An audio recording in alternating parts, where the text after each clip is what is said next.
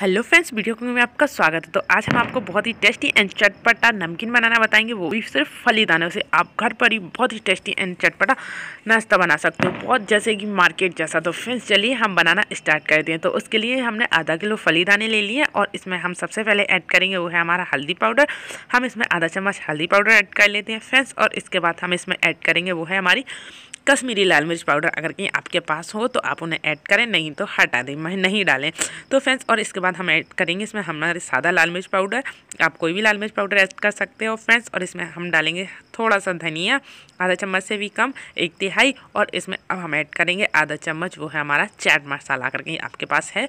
तो ठीक है, अगर कहीं नहीं है तो आप इसकी जगह गर्म मसाला यूज़ कर सकते हैं या मैगी मसाला तो और इसमें हम थोड़ा सा एक चम्मच ऑयल ऐड कर देते हैं, और नमक अपने स्वाद अनुसार ऐड करना है। हमने एक चम्मच नमक ऐड किया है, और इसको अब हमें अच्छे तरीके से मिक्स कर लेना है। जैसे कि हमारा सारा नमकीन में, हमारे सारे दानों में हमारा मिर्ची, नमक, हल्दी, धनिया सब अच्छे से मिक्स हो जाए। तो फ्रेंड्स इस तरीके से हमें इसमें सब मिक्स कर लेना है फ्रेंड्स तो देखिए, इस तरीके से हमारा सब अच्छे से मिक्स कर लेते हैं हम इसको।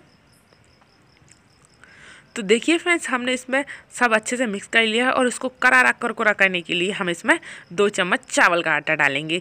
हमने चावल का आटा लिया है और इसको हम दो चम्मच चावल का आटा ऐड करेंगे।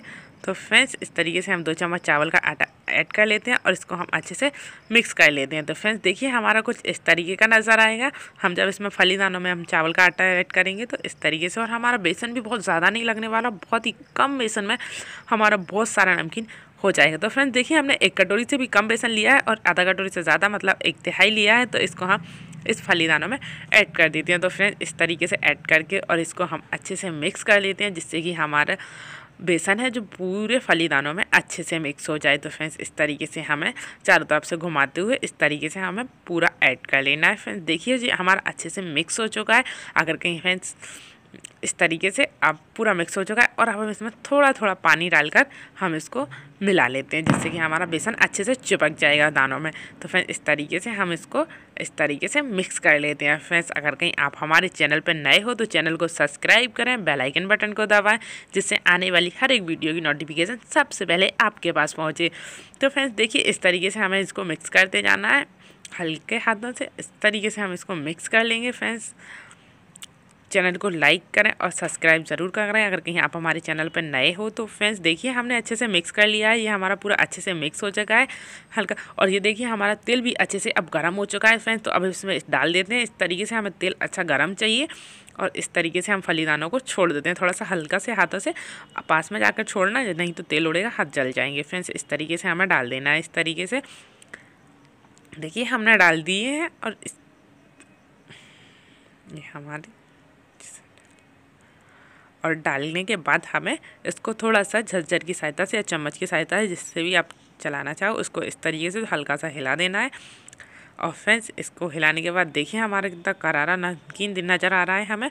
और फ्रेंड्स, देखिए हम इसको, अब हमारा अच्छे से हो चुका है और अब हम इसको निकाल लेंगे फ्रेंड्स। तो देखिए, हमारा नमकीन को हम थोड़ा सा और होने देते हैं। इसको हमें ज़्यादा नहीं, दो से तीन मिनट तक सेकना है और दो से तीन मिनट के सेकने के बाद हम इसको निकाल लेते हैं फ्रेंड्स। देखिए, ये हमारा, इस तरीके से हमें पलटते रहना चाहिए जिससे कि हमारा सब तरफ़ से सीख जाए। तो फ्रेंड्स, देखिए, ये हमारा हो चुका है और अब हम इसको निकाल लेते हैं। चलिए फ्रेंड्स तो अब हम इसको निकालते हैं। तो इस तरीके से आप चाहे तो तार वाली सिज्जर से निकाल लेना या इसी से निकाल लो। तो फिर इस तरीके से हमें ऐसे निकाल लेना है। तो देखिए, इस तरीके से करके हमें तेल पूरा निकाल देना है उसी में और इस तरीके से हम निकाल लेते हैं और बहुत ही टेस्टी एंड करारा बना है। अगर कहीं आप हमारे चैनल पर नए हो तो चैनल को प्लीज़ प्लीज़ सब्सक्राइब कर लें। देखिए, इस तरीके से बहुत ही करारा नज़र आ रहा है। पूरा दाना एक एक है।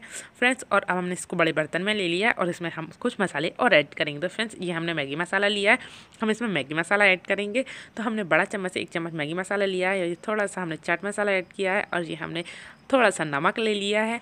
आधा चम्मच से भी हल्दी पाउडर और लाल मिर्च पाउडर और इसको अच्छे से मिक्स करके हम अच्छे, इसको अच्छे से मिक्स कर लेते हैं। इसका टेस्ट और ही बहुत ही टेस्टी लगाता है। हमारे फली दानों की नमकीन को इस तरीके से डाल के और हमें इस तरीके से मिक्स कर लेना है फ्रेंड्स। और अब हमारे नमकीन का कुछ अलग ही टेस्ट आएगा। तो आप हमारे चैनल को सब्सक्राइब करें, बेल आइकन बटन को दबाएँ, जिससे आने वाले हर एक वीडियो की नोटिफिकेशन आप तक पहुँचती लगी। लाइक करें, शेयर करें एंड सब्सक्राइब करें और कमेंट बॉक्स में कमेंट करें।